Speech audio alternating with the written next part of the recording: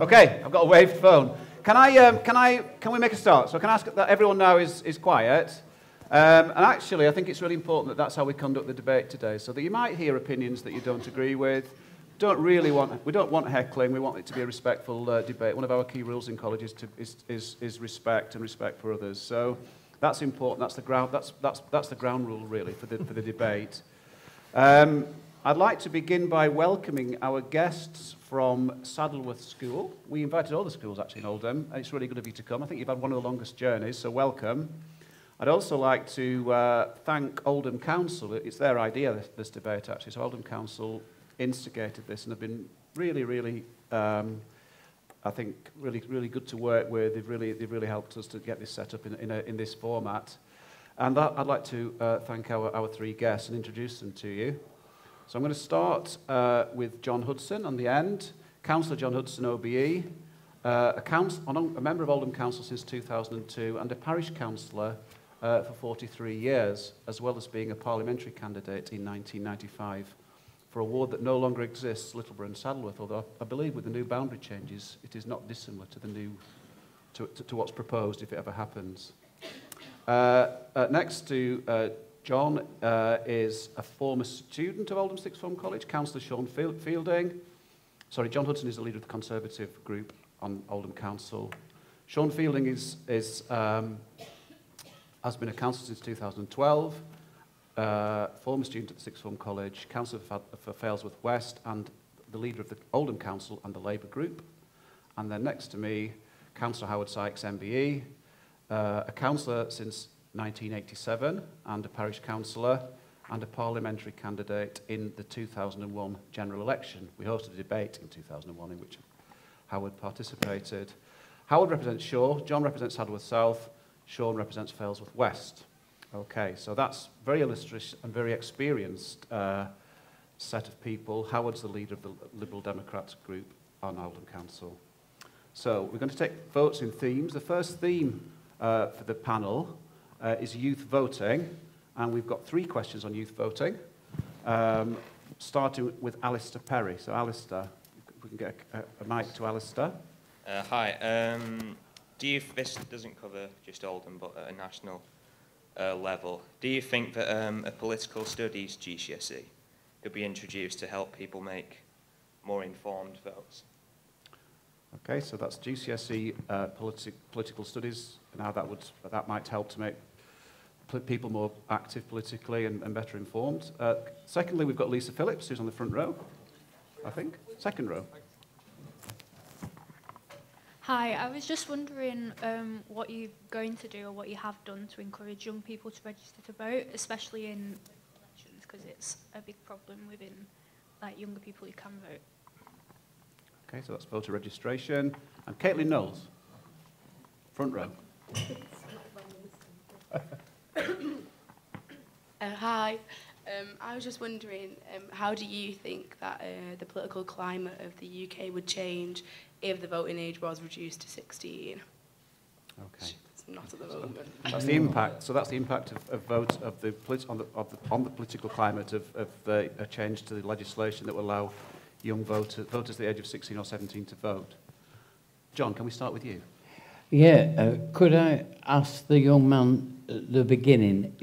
You know, I've got to that age where I don't know what I had for my tea yesterday, so I couldn't quite hear the full question. So could I have it again? I don't want to get it wrong. Um, could a political studies GCSE be introduced yeah. to help people make more informed votes?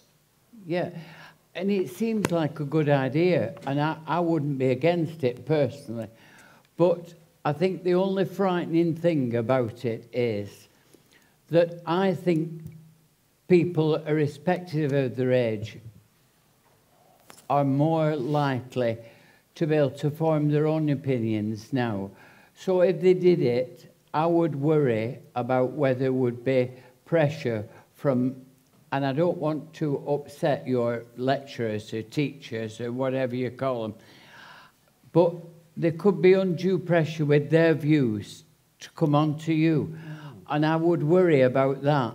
I would rather respect your view and what you thought But if you think political studies would be a good thing, I wouldn't be against it, but I would caution that I would, would bring it in.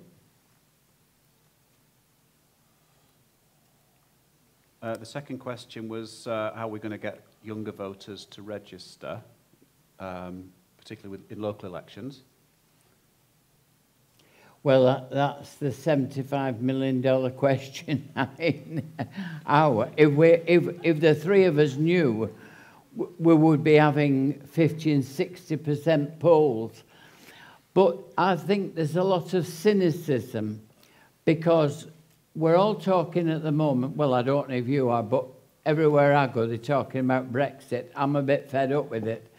I, I, but um, here we are, Whatever I thought of it, and I'm not sure it was done right, but I think here we had an exercise where the largest number ever of people recorded their vote, and then they feel divided and, and unloved by all the parties because they don't see solutions coming forward. And that's, we should learn from that. We should learn that whatever we do to improve it, there's always a chance of ruining what we have. So I think we've got to be careful and make sure. I would like personally for people to use the vote, and like in Australia, where they have to use the vote. I'm not so sure that you should ever take away the right of people to go to the polling station and say, I don't like any of them, so I'm not voting. I think that should always be there.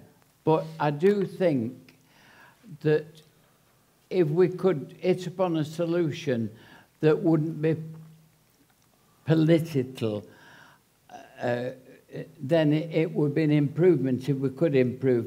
But I think Oldham Council are doing everything they can to improve people to come out and vote by having people of all parties and everybody getting chances.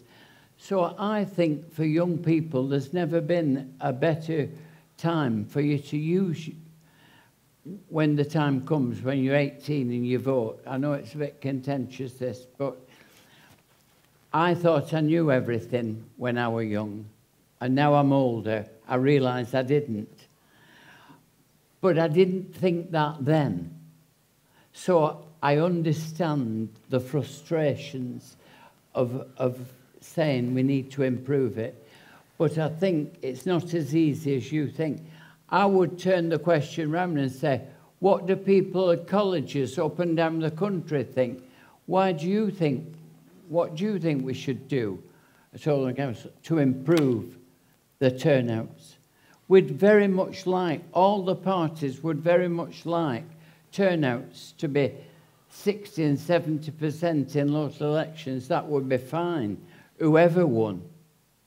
I've never worried about winning. That's probably because I've lost a lot of time. But you, you get used to it, you know, really. But it's a case of, it's a very difficult question and a very good question. And I think it's a question that should occupy the minds of all the politicians in Westminster. Thanks, thanks, John. And uh, the third question. Yes, that, that, that could almost be a yes or no, really. Would you agree that the voting age should be reduced to 16?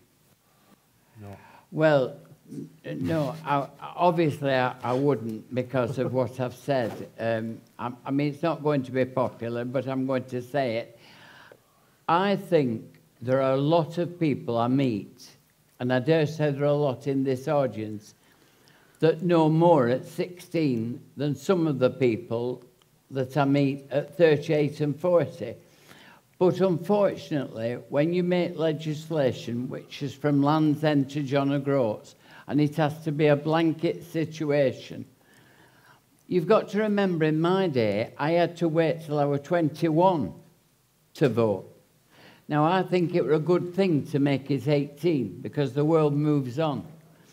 But I think where do you stop? There are also people I've met at 14 and 15 who have the ability to assimilate facts and, and have good discussions. So I think there's a problem with it. The politicians will look to what's best for them. I personally think look at your mothers and fathers and your granny and granddads. They aren't old, they're old, they've been young like you. And like me, they thought they knew everything. And I protested when I was 16 at everything. And I was quite radical. But as life gets on and you get responsibilities and you get different things, you change your view. So I'm going to say no, I wouldn't support 16. And that is no insult to anybody in this audience. It's my honest, balanced view that looking at it overall, I think that's the best situation to keep it at 18. But I know that's not popular. But that's how I feel. No, no, I think that's fair enough. I'm going to, I'm going to become more a bit more Dimbleby now and sort of cut down the length of people's answers. But that was a very, very good answer, John. Thank you for that. Uh, Sean. Thanks, uh, thanks, Peter.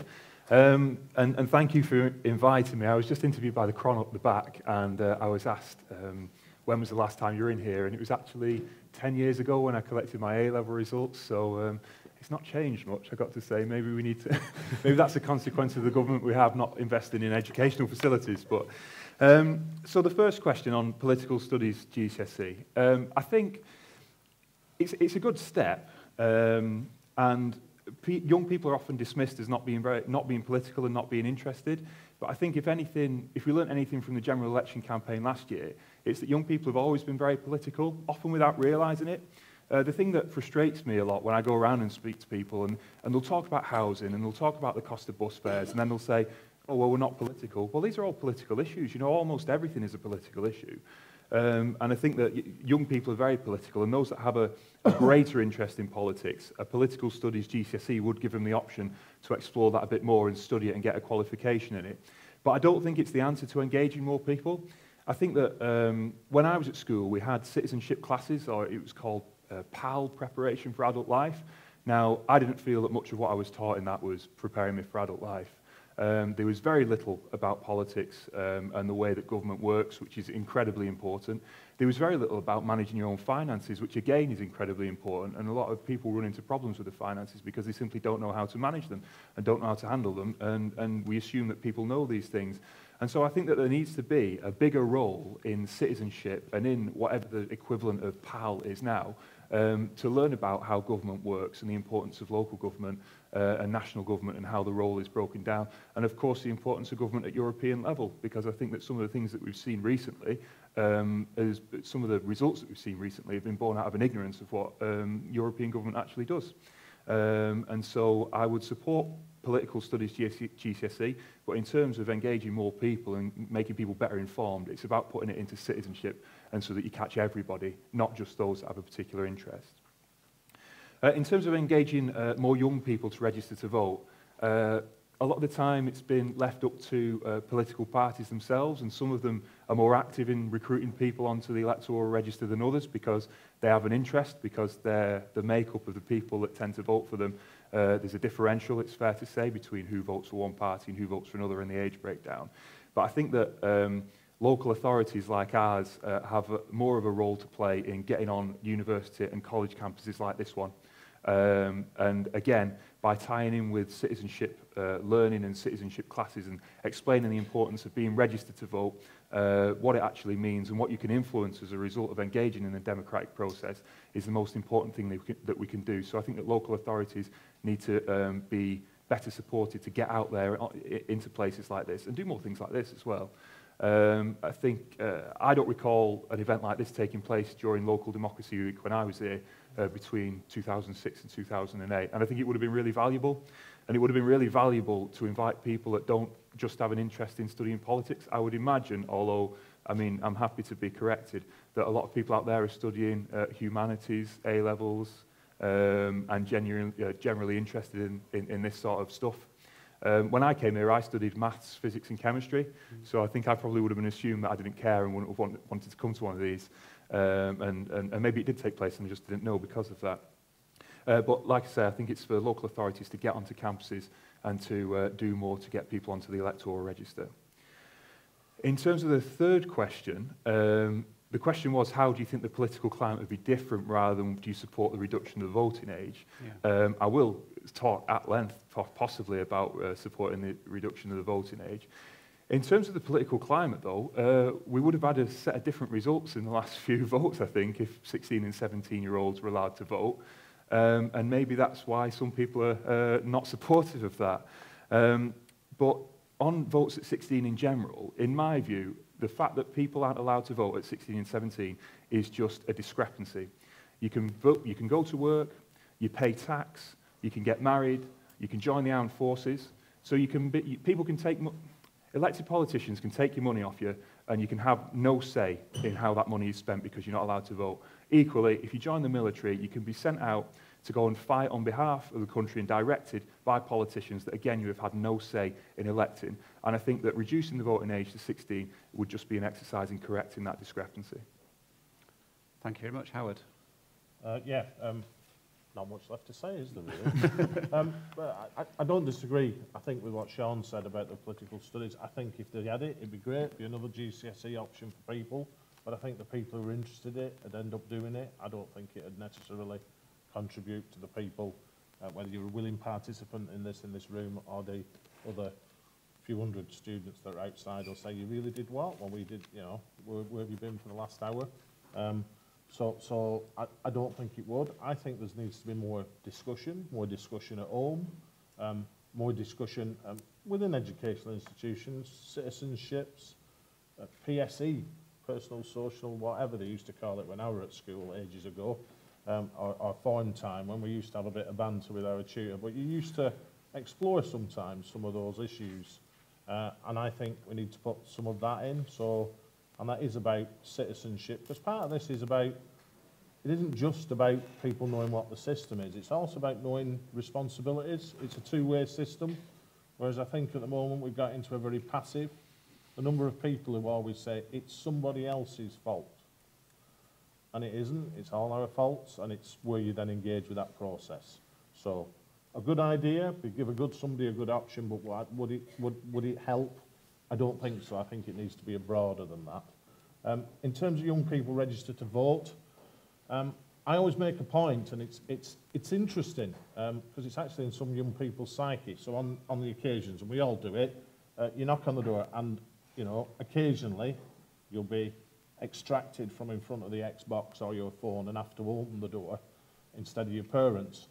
And then you open the door and you go, hang on, I'll get my mum and dad. And I always say, no, don't. I want to talk to you. Um, so, so in terms of what I do, I make a point of trying to talk to people. Because what I find, regardless of what the voting age is, unless people choose to use that vote the first year they have it, when they're 18, or the second time, they'll be the people in 20 years' time, and I've been in this game nearly 30 years, when I knock on their doors, I've never ever voted, but I tell you what, they have loads of opinions, uh, and they're a bunch of smart, and I won't use the word, uh, whatevers, uh, in terms of what should and shouldn't be done, but they can't be bothered to find five minutes um, to go and put the cross against somebody. And, and I suppose that's partly related to that question. There is somebody in my ward, I do not know who it is, who goes and writes a very abusive set of words on a ballot paper. But they go and exercise their democratic right and they tell me what they think of me and my colleagues every time they've got an opportunity. And good on them and long may it continue. and what I always tell young people, I'd rather you go and vote for somebody else than not vote. Because I think you abdicate your responsibility then as a citizen. Uh, and in terms of political climate, well, we wouldn't be having Brexit if we had 16s uh, that could vote. Um, we'd be having a very more international focused debate, I think. Um, if, if, if we had voting age at 16 in terms of some young people, but I'm not. Uh, and I'd like to think they'd vote in bucketfuls. Um, but I do think vast majority of your colleagues would be in the can't be asked club, I'm afraid, um, if you reduced it to 16, which I think is a shame. And they've developed that pattern of not voting at 16 rather than 18. Hope that was shy enough. Thank you very much. Yeah, I mean, I think what we're going to do is I'm going to ask the panel a question, a yes or no, in a second. But before that, I'm going to ask you guys uh, to vote now, if you would, please. So if you get your phones out, let's hope this works. the question is going to be, do you support low- lowering the voting age to 16, yes, no, or unsure? So it's yes, no, or unsure. 80 20.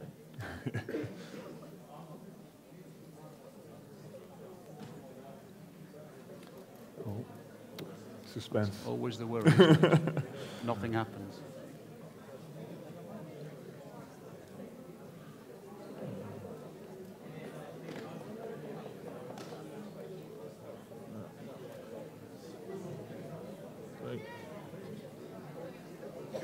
Just like real life, nobody's going to call that stage. Oh, we've got to press go. Wow. Okay. So that's, uh, that's interesting. Yeah, yeah. Uh, we have held this debate. Um, we, we held this debate last year and had a sort of fairly similar outcome, actually. But I'm, I just want to ask the, the, this has got to be a yes or no to the, uh, to the three of you. Uh, would you be in favour of the, of the law changing to make it compulsory to vote, irrespective of you know whether it's 16 or 18? Yeah, that's, that can be yes, no, or unsure. Yes. No. Yes. Excellent, thank you. That's really interesting. Great. Okay, so we're going to move. We're going to move on now to a uh, to a to a to a different theme altogether. It's Emily, and she's going to ask a question about mental health. Emily. Emily Um, 75% of 16 to 18 year olds um, in the UK with a mental health issue are currently not receiving treatment. What can you do for people like us who are being overlooked in terms of the mental health by the system? Thank you very much. I'm going to start with Sean this time. Oh, okay. Um, 75%, it's a, it is a, a shocking statistic. And I, I think that the, you know, when somebody has a physical illness, it's quite obvious in most cases. And mental illness is something that can remain quite hidden. And I don't think it's something that we're alive to as a society, quite how prevalent it is, particularly among young people. And I think one of the reasons for that is that uh, a lot of the challenges that have led to the mental health crisis in young people weren't present when the people that are currently responsible for making policy were younger. Um, I was thinking about this issue last night because I knew that it would come up. And, you know, there's a particular pressure on young people in relation to uh, social media uh, and body image. I think, you know, social media itself is, was, is a relatively new phenomenon. And there's a lot of people that judge, not a lot of people, sorry, it's been reported that there are young people that um, are hard on themselves when they don't receive as many likes on Instagram or Twitter or on Facebook. And that's not something that was present when uh, the current people that are in charge of uh, deploying funding on health services or shaping health policy were around. And then, of course, you know, we have uh, programs like Love Island, which is a relatively new thing as well, which puts uh, pressure on uh, young people um, over body image. And I mean, I use Oldham Gym, and I used to go to Pure Gym, and I, I think about some of the people that you, you see in there that seem to spend more time taking pictures of themselves in the weights machines than they actually do working out. Um, and I think that that's a kind of a symptom itself that people are quite insecure about their image. Um, and, well, anyway, on those two issues, those would have been present anyway. You know, we can't stop the rise of social media. We can't tell the television channels what programming to set. Um, but one of the other issues that's led to a rise in um, insecurity among young people and, and problems with mental health is uh, cutbacks to early intervention services that local authorities are responsible for providing.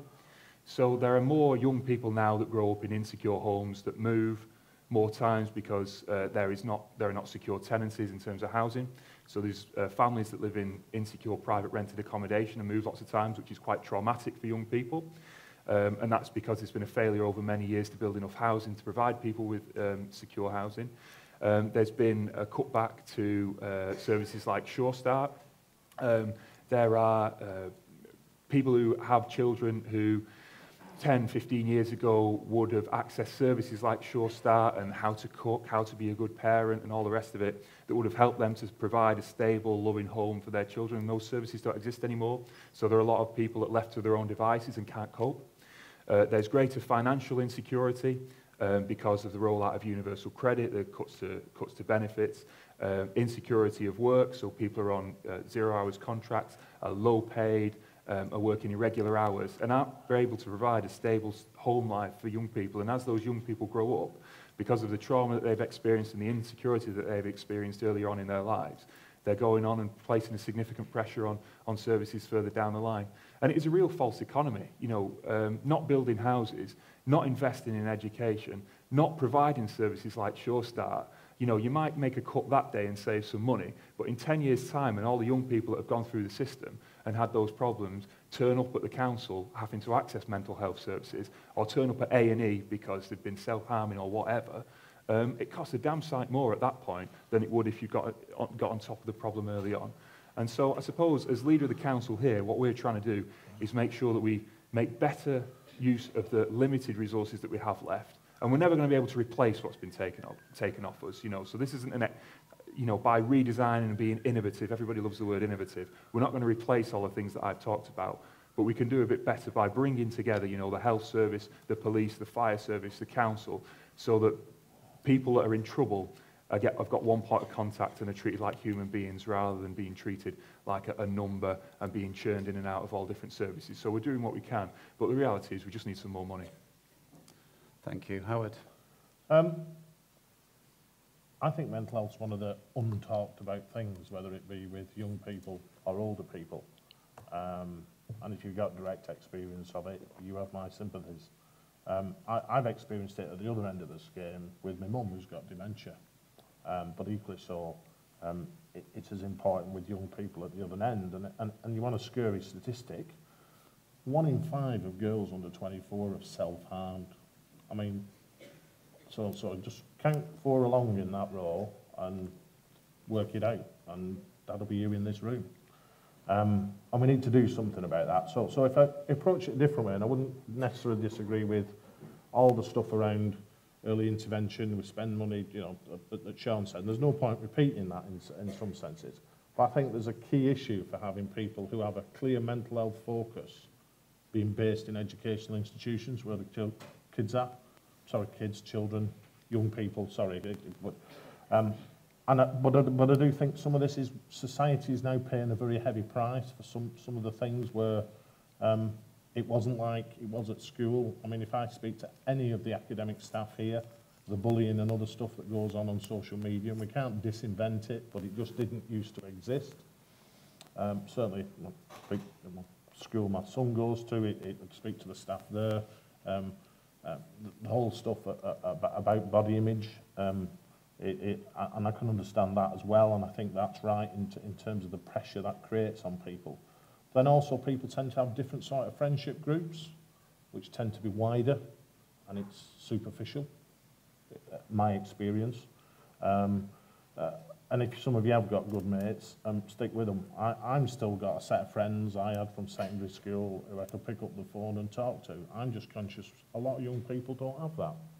Um, so some of it is about family background, but some of it can come from some quite wealthy, stable backgrounds and still have uh, uh, mental health issues. So who do you go and talk to it about? Do you go and talk to the member of staff who's responsible for it, who also teaches two other subjects and is responsible for under of you? So there's a resource issue about that. And because it's hidden, um, but we are starting to talk about it. So, you know, it's a good question. Um, CAMHS, I think it's called, it's Children and Adults Mental Health Services. Um, we need to do that better. We are not good at doing that in Oldham, um, regardless of the resources. Uh, and the council in Furness has wised up to that with our partners in the NHS, and we're trying to do something about it. And always do more. It's about making sure we do what we've got, but it's also about creating that environment so people can talk about this. And, and if, from what you said in your question, you are very brave to ask that question, so well done, because um, um, you talked about I when you asked the question. Um, and carry on talking to people, and as bad as you think it is, you'll come out of it and you'll be able to talk about it, and then hopefully you'll be able to help other people as well. Because if you ever have suffered from this, I would always say to people, and it goes back to that voting and active citizenship, think what it was like when you were in that bad place and find some time to help other people get out of it. And that's how we'll crack that problem, in my opinion. Thank you, Howard. John? Well, I think it's a good question, especially for the people from Saddleworth. I have a friend whose daughter recently was in a terrible situation and went on the railway line. So I know how bad it is. But you've got to remember, you can't ask politicians to put everything right. We're in the 21st century, and it's no use going back like the Pope gets off the plane and kisses the ground and says, We're sorry for what happened 200 years ago. Of course we are, but that doesn't mean we can put it instantly right.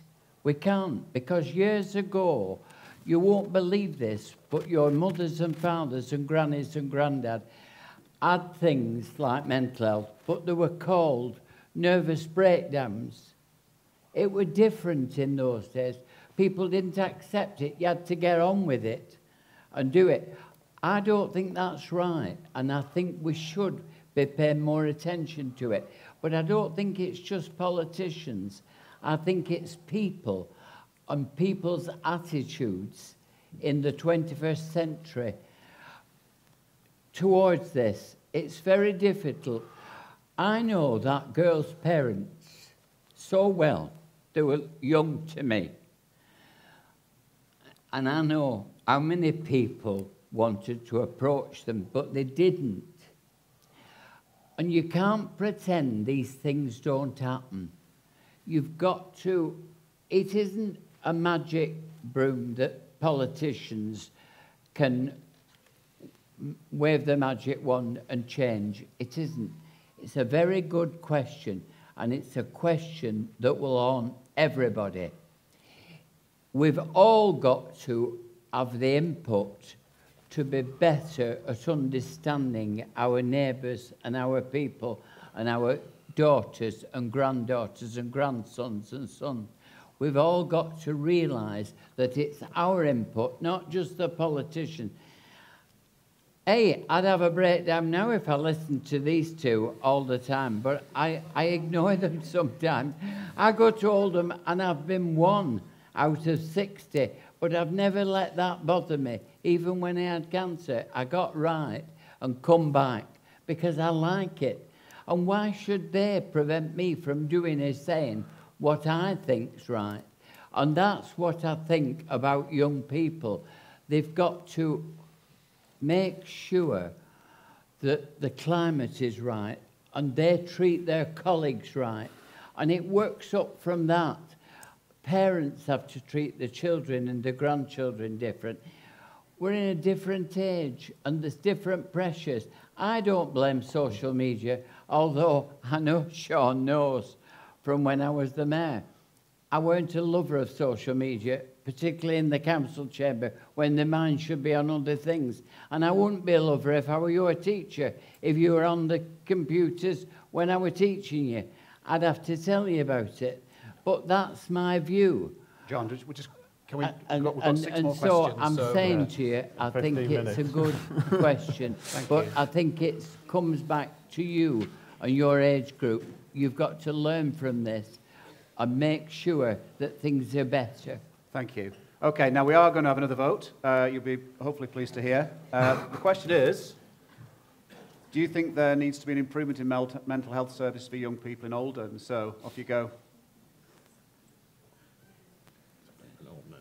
Hoping that will be fairly straightforward. 95, must be.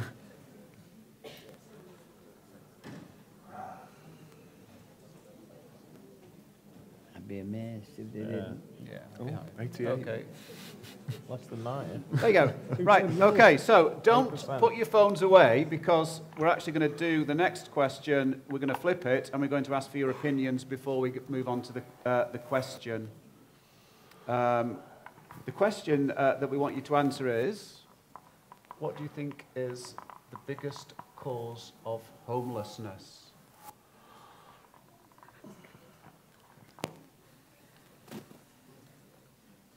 Okay, so a bit of thinking now.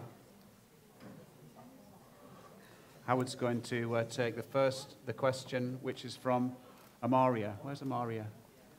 Oh, yeah, brilliant. Just give us, what, give us one more minute.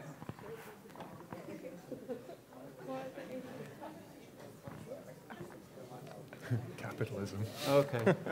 so we have a Wordle. Amaria, your question. Can you be quiet, please, guys? What what are the proposed solutions for the increased number of rough sleepers in Oldham and Greater Manchester? Thank you. Howard.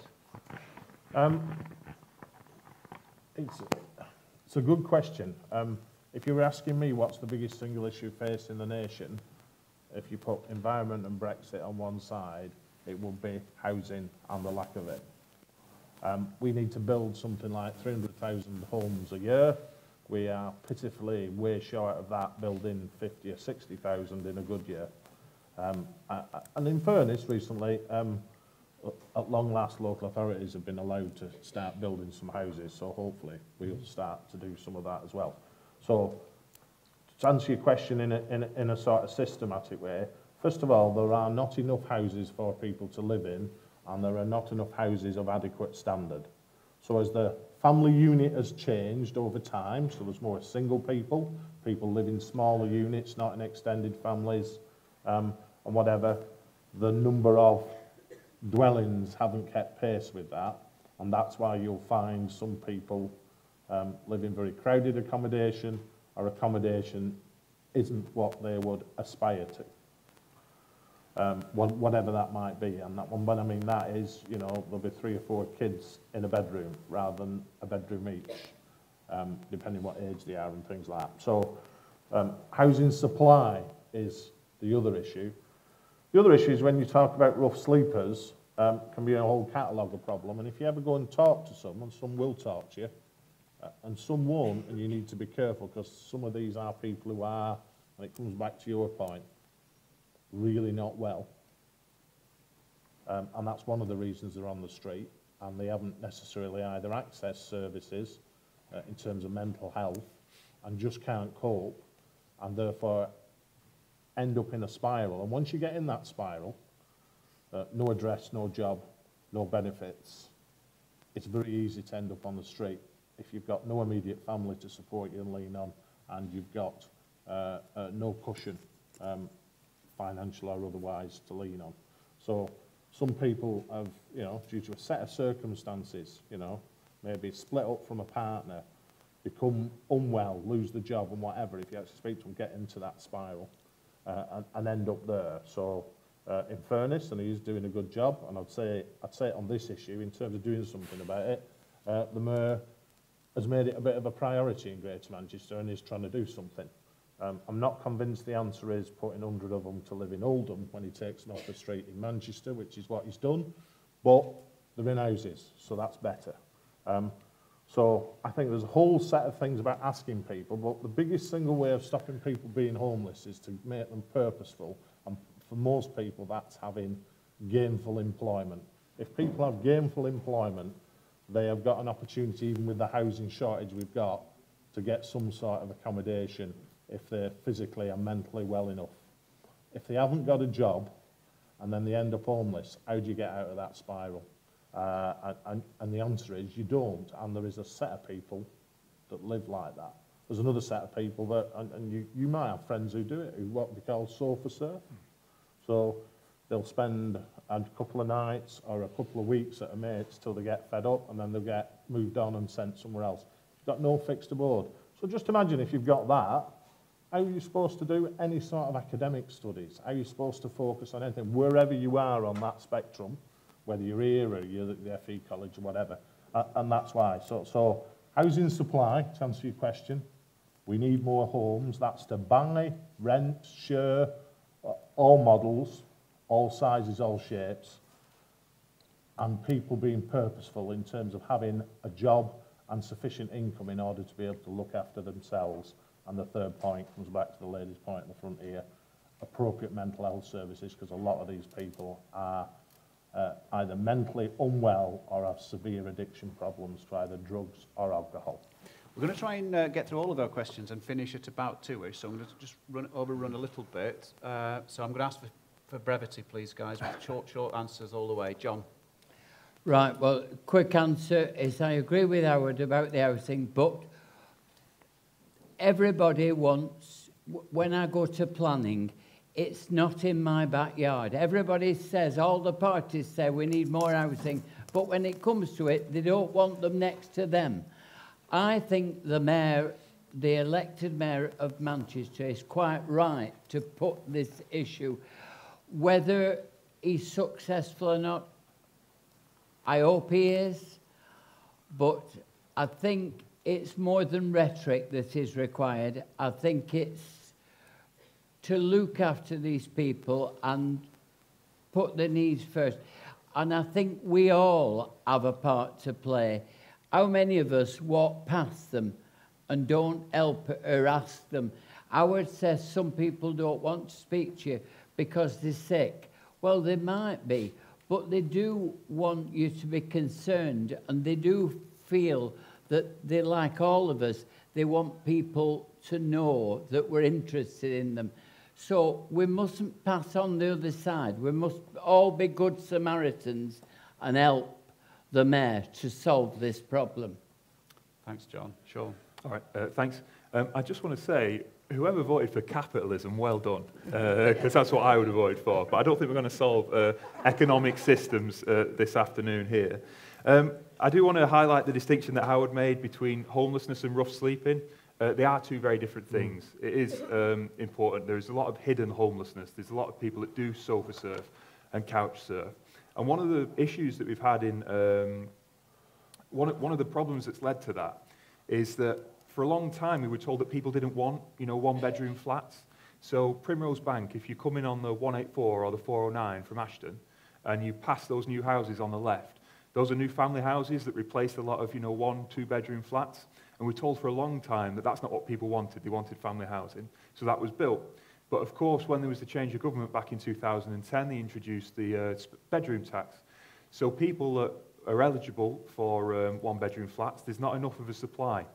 Um, I went out with Street Angels, which are the people that walk around in the big orange coats around Yorkshire Street and Union Street on a Saturday night, you know, picking people up when they've had a bit too much to drink.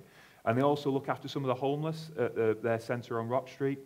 And speaking to some of those homeless people in there, um, the first thing they say, well, a lot of them are single men, um, and a lot of them are men uh, that have ended up on the streets as a result of family breakdown. So they've fallen out with a partner, uh, they've been thrown out of the house, and they've had nowhere else to go because they've not had a support network in terms of family or friends, and they've ended up on the street. And one thing that was really interesting about what they said as well is, I don't want a flat, because if you give me a flat, I won't be able to pay the rent, I won't be able to pay the bills because I just can't cope. I need to get myself straight. And there was one guy that told a story about how he, he climbed up Indian's Head and went and lived in a cave for three weeks to get himself clean because he said he wouldn't have been able to cope, uh, you know, in the way that you, not, uh, mo most people do um, by, you know, paying your rent and paying your bills and living in a house in the, in the traditional way. And it is something of a spiral because when those people end up out on the streets, it's difficult to get out of that. Um, if people have seen the film The, the Shawshank Redemption, the guy that's been in prison for decades, and then he ultimately gets released, and when he gets released, he, he kills himself because he can't cope with having a job and he can't cope with having a flat uh, because he's become institutionalized and he's become uh, used to being locked up and having everything uh, sorted for him. And it's the same with a lot of our homeless people. A lot of our homeless people, it's too big a step to give them flats. Now, one thing that the mayor is doing is um, promising a bed every night uh, over Christmas. At the moment, uh, the legislation only says that you have to provide a bed for somebody who's rough sleeping if the temperature drops below zero three nights in a row. So it has to be below freezing for three nights before you even offer somebody a bed. Now, in Greater Manchester, what the mayor's doing is saying that over Christmas this year, we'll do it every night. From the first night it's below zero, we'll do it. And I think that that's the right thing to do. But it's just a, that's, um, it's not an issue that's going to be able, we're going to be able to solve quickly because we've been building too few and the wrong kind of properties for a long time. And the prevalence, again, of insecure work, uh, an insecure economy, is what's leading to, these are symptoms of, of a wider problem. Thank you very much. Okay. okay. So phones out again because we're going to move on to another, another topic, which is emergency services. And you, we're going to ask you to rate uh, your local emergency services. And then we're going to have a question from Matthew Gol, uh, Gol, Godelman. Matthew's up there, isn't he? To be as quick as we can, if- uh, guys, just so we can get through everything or as Um, much as we can. How do you intend on improving um, emergency service response times and more specifically policing in the local area? Just have a look at the results there on the back behind us. It's quite interesting.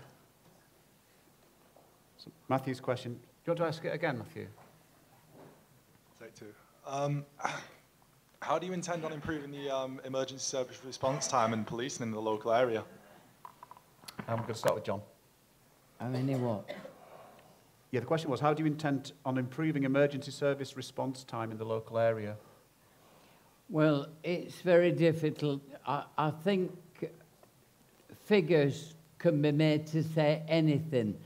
And I think all political parties are guilty of using the figures for their own ends. I think what we need to do is look at what is really happening in the real world, not the Westminster bubble, and make sure that we apply our money and time to the real emergency services that are required. See, what you might call emergency won't happen if I had an emergency when I had cancer and I thought I was going to die. That to me was an emergency. But yet they had to prioritise me because there are people worse than me. You don't think that at the time. When you are ill and you require emergency services, you prioritise yourself as being up here. But sometimes those people, doctors, nurses, ambulance drivers, firemen, the people, they have to prioritise everything, and it's very difficult. So it needs to be an impassioned view, and we need to look at it properly without bringing the politics into it, because this is something that's very important to everybody, and we do need real emergency services to improve. So I think it won't improve with any political input. It's better without it. Thank you, John. Uh, Sean? Right. Um, I, I, don't think I can let this don't bring the politics into it go. I remember when I was at um, university and there were some elections being run for the Students' Union, and somebody came in and spoke at the front of the lecture theatre and said, let's leave politics out of the Students' Union, let's just get somebody in there who cares. You know, but if you have different views, you care about different things, everything is a political issue, and you can't leave politics out of the issue of policing when you've got one party that's cut 2,000 police from the streets of Greater Manchester over eight years and intends to continue cutting them, and you've got another party that's saying we should recruit 10,000. It is very much a political issue. In terms of response times, you know, uh, it is, you know, John was right about priority. If you ring up and you say, you know, someone's got a knife, to my, a, a knife and they're coming to attack me, then the police are probably going to turn up pretty quick. Whereas if you ring up and you say, oh, I was burgled last night and my bike's missing, then they're probably going to leave it. And unfortunately, in many cases, because of how few police there are on the streets now, that results in you getting a text two weeks later saying, we're not actually bothering to, uh, we're not actually bothering to investigate who's nicked your bike, sorry. And I've had cases where that's happened. But it is very much a political issue. And on, I mean, the question that I was briefed on and, and that Peter read out was about emergency services in general. It's not just the police that have been caught. There are 7,000 fewer fire, um, firefighters on the streets of Greater Man uh, working in Greater Manchester than there were eight years ago. Um, and it's just shocking. So if you want to, if, if you want to improve resp police response times, there needs to be more of them. Um, and that is very much a political issue because you've got one set of politicians saying we need more and we'll recruit more, and one who is saying, no, you're doing all right. And, and shockingly, and uh, shockingly, somebody in, uh, who was a councillor in Greater Manchester was in the paper the other day saying, oh, the police just need to be more efficient. You know, and, and he, it, his basis for his, fa- uh, his statement was that he used to be a civilian officer within Greater Manchester Police. Well, you know what? I used to fill shelves at Tesco, but when they were in trouble six years ago, I wasn't ringing them up and saying, oh, you need to listen to me because I know what's best for you. Okay. Howard? Good. Well, taking a while, but we're getting going, aren't we? Right, right. Um, yeah, yeah. You're right. Um, and I think the other bit, not wishing to, to whatever, it- is a political issue. I think the other bit you need to recognise is in terms of per head of population, we get a really bad deal in Greater Manchester compared to other forces. So, because we don't have a, a national police force, and I'm not somebody who's in favour of one either, but we get a bad deal. So actually, in terms of heads of population, the num number of people who live here, we have less, and I'd always have had, even when we had the extra 2,000 police, we no longer have um, uh, uh, to, to, to help. So, so I think that's, that's part of the problem about it's the unfairness of it. And that's the balance about, well, why is that and whatever. And you, need, you know, MPs set the conditions um, for stuff like that. But, but there's things we can do.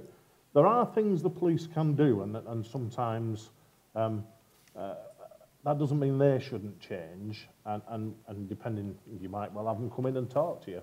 Um, my experience, I could say, is um, they've been very good at telling you how much money they haven't got and what they can't do.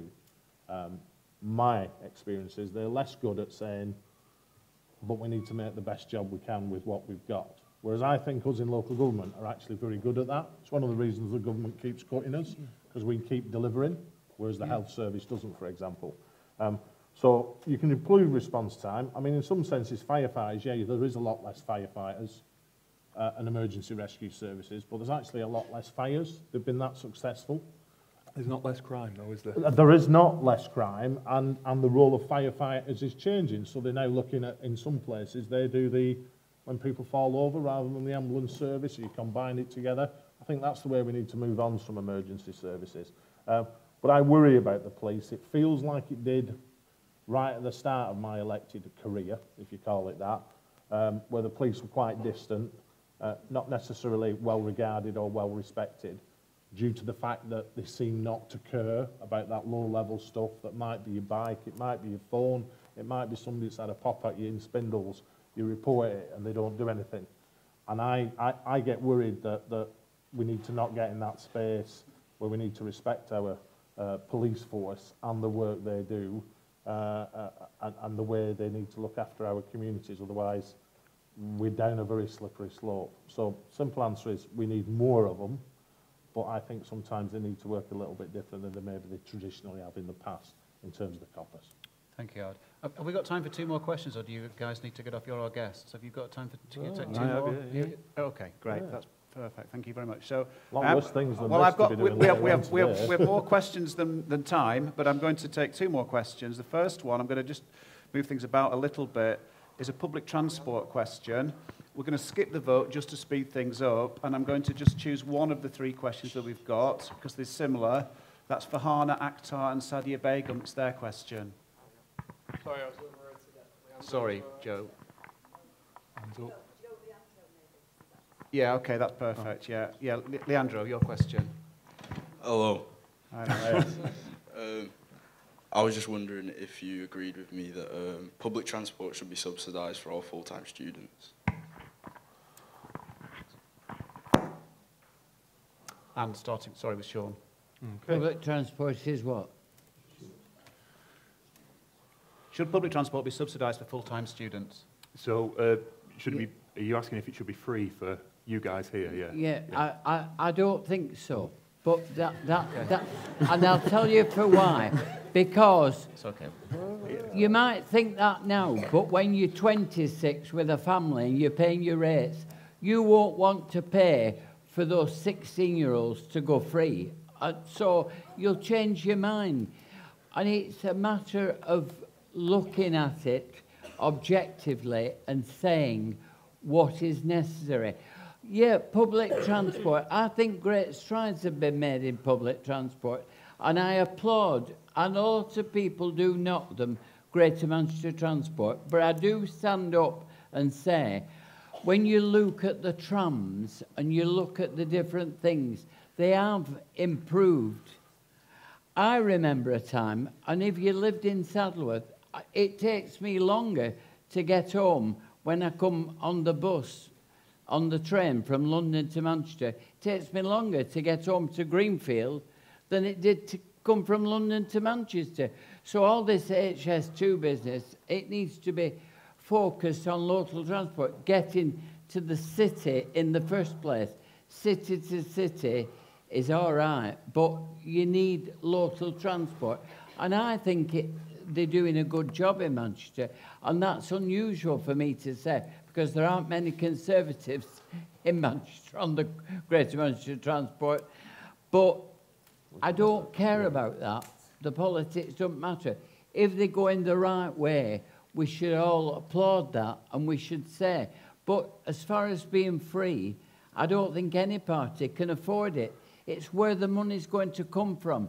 And you have to prioritise your money. And I don't think, with respect to you lot, who look quite good, I don't think you're a number one priority for free transport. Thank you, John. Sean. Um, well, I've, I've just come from a meeting this morning at, at Greater Manchester where we were discussing how to fund the free bus travel for 16 to 18 year olds. That's only bus travel, it doesn't include tram and train. Um, and so I do support that. Um, I think that my role on the combined authority is um, the lead member in Greater Manchester for Education and Skills.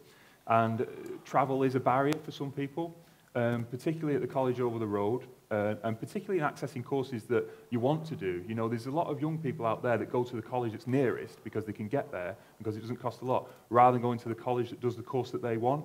And so I do support in the introduction of, of, of that free bus pass. And I would look again at um, wider free travel if it can be funded. But on public transport in general, if I can just use the opportunity to talk about it, um, I think that we are incredibly poorly served, not just in Greater Manchester, but in the north of Greater Manchester. First Bus is an appalling bus company. It, it, it's absolute, you know, I, I use it to go, I went into town this morning. Uh, I waited for 15 minutes, three came at the same time.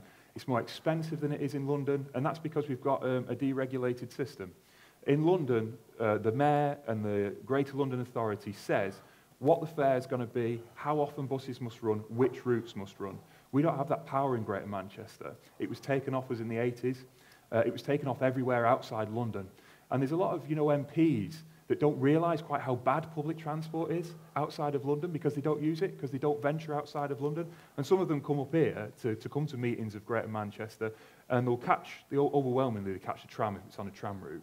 But on the rare occasion that they have to go to Wigan or to Bolton and they have to catch a train or a bus, more often than not, the first thing that they say is, oh my God, it's terrible here, isn't it?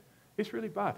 And you know, and there's stuff on the, in the MEN the other week about air quality as well, and about how air quality in Greater Manchester is poor because more people use the cars because they don't have confidence in public transport. And the bus that I caught this morning was a 05 plate, 13 years old, older than my car.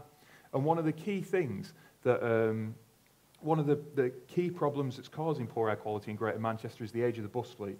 On Oldham Road, down towards Manchester from Oldham, air quality is poorer than some parts of Greater London. And the reason it's poorer is because our buses don't have to be bought, uh, we don't have to buy new buses every three years like they do in, in Greater London. Uh, carry it. Last thing, I promise. Again, uh, you know, I, I've been to London more times since I got this job four months ago than I had in the rest of my life combined. And I have, um, I never opened an Oyster card account. I got out my contactless debit card and I just tapped it on and, you know, tapped when I got off the tube. I used it on the bus. It's a flat fare on the bus in London, £1.50 I think it is, or it's not very much. And you don't even have to think about getting a change or anything. And, you, and it doesn't matter which company's operating your bus, it's the same fare, and you can change between different modes of travel. And you can't do that here. You know, it's £4.50 for a day, and you can only use that on the um, first buses. Uh, so if you want to go down to Chorlton, which sadly is where a lot of my friends that I used to live uh, that used to live in Oldham, where they live now, you have to catch another operator, and it costs you six pound or whatever it is. So public transport needs to improve. I support free travel, but at the same time, there's no point in giving free travel on a network that's rubbish. Thank you very much. Right. Howard.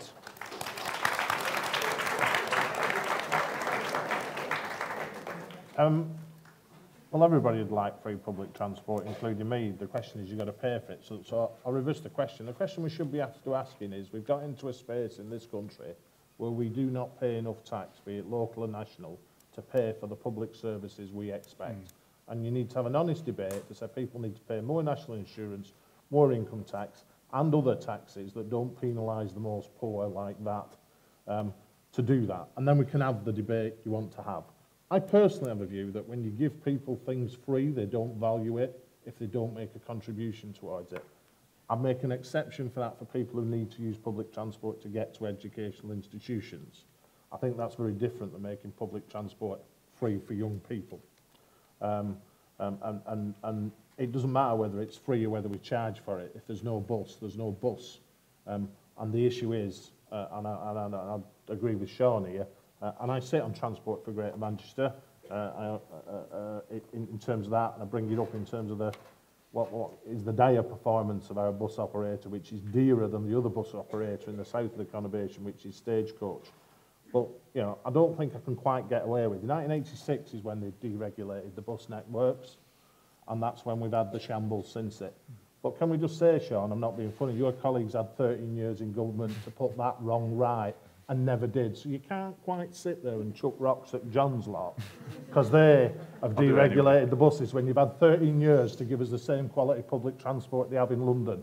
And I simple message for me, if it's good enough for London, it's good enough for us here in Oldham and Greater Manchester. And we shouldn't keep accepting second best. And we need to get angry and let people know about it. Mm,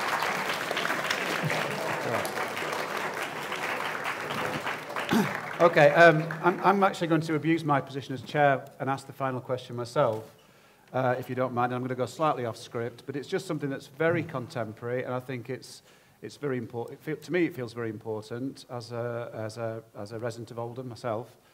Um, and actually, I don't think it's just happening in Oldham, because I saw a tweet from a, a it was Tim Farron actually that tweeted about his constituency, which I think is Westmoreland or somewhere like that in the north east. Um, I believe that Oldham uh, Post Office is being moved uh, to, well, there's a proposal for it to move to uh, Smith's newsagents. Should, should we be doing something about that? And if so, what? And I'm going to start with Howard. Um, good question. Um, and I don't think this is one of those easy ones. Everybody has wants a post office, but I just asked the question, when was the last time just stick your hand up if you step foot in a post office in the last 12 months in this room. To do what? Exchange, foreign exchange? Post? That's, that, that's good. Um, so I hope it was your local post office and you need to keep doing it. But it, it's, it's exactly the same. So, so you can have a rational argument, can't you? Um, I think what's important to us all is that we have post office services. So I, I, I actually think your question was lost 20 years ago and post offices started going in, in different places. I've lost all the post offices in the areas I represent, apart from the one in the main town, which is now the only post, the only place where you can transact, because I'm about to lose my last bank uh, in terms of a community uh, that's served a, a town centre in terms of Shaw and Crompton that serves over 20,000 people. Uh, and you have to say that's a bit of an outrage, isn't it? Um, but part of that is the use of the internet, Part of that is now people don't go to the post office to pick up benefits, they get it paid electronically. Uh, we've systematically starved the post office of a revenue stream. So, you know, I don't go in the post office to tax my car anymore. I do it online. I presume most people do. So some of that's cause and effect. What we need to do is maintain those post office services people make. And I have to say, if that means we put them in Smiths and that keeps that service, that's better than having a shut post office if the only way the business model works. Um, and that's a, an honest answer. And I'll leave it at that. Thank you. Yeah. So it's John, uh, uh, yeah. and, and then well, finally. post offices, like all the retail trade, you want them, the shops, to go around on a Saturday, but you're all buying online from Amazon. So how can, unless the tills click over, they can't employ people and they can't keep open just for you to go a weekend. And the post office are the same.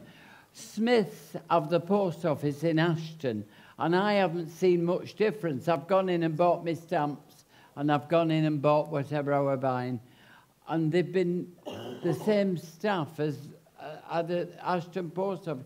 So we'll better wait and see. If people use it, it's like your legs. If you don't use it, you lose it. So the best thing is to keep active and use them. And I tell you, you might laugh at 16, but when you get to 70 odd, you won't laugh because you'll realise that that's right. And it, it, the post office is the same as your legs. If you don't use it, you'll lose it. So it's up to you. Thanks for that, John. might use that quote myself, actually. So. uh, Sean, finish it off for us, yeah, please. I think that the fundamental question for me about post offices or, or, or public services in general is what do you class as a public service and what should be run as a business? And the post office for me is a key public service that is socially necessary for so many people, including elderly and vulnerable people. And the post office can be viable because all these things that people buy on Amazon and ASOS, the last time I was in the post office last week was returning an ASOS package. So I go in there quite a lot. And sometimes you have to get recorded delivery for different things. So there is still a viable use for it. But again, if we value it as a public service, then we have to accept that we have to pay for it. Um, and I think personally that the post office is something that is worth paying for.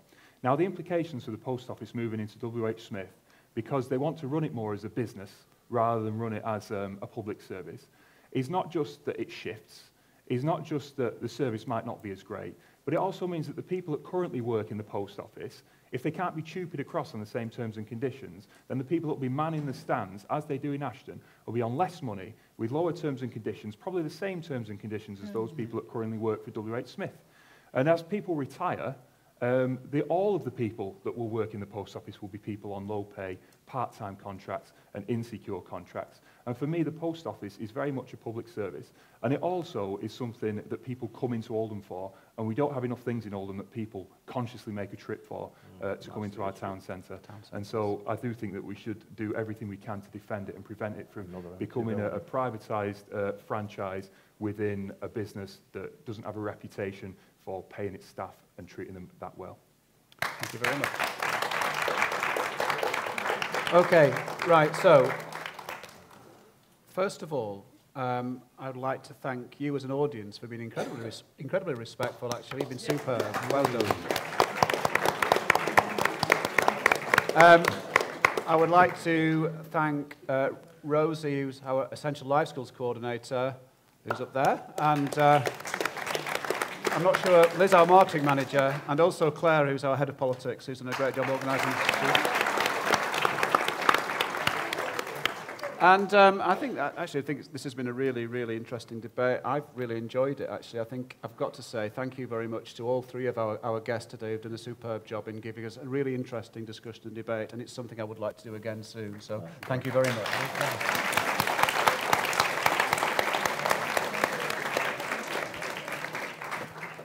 Get to your lessons.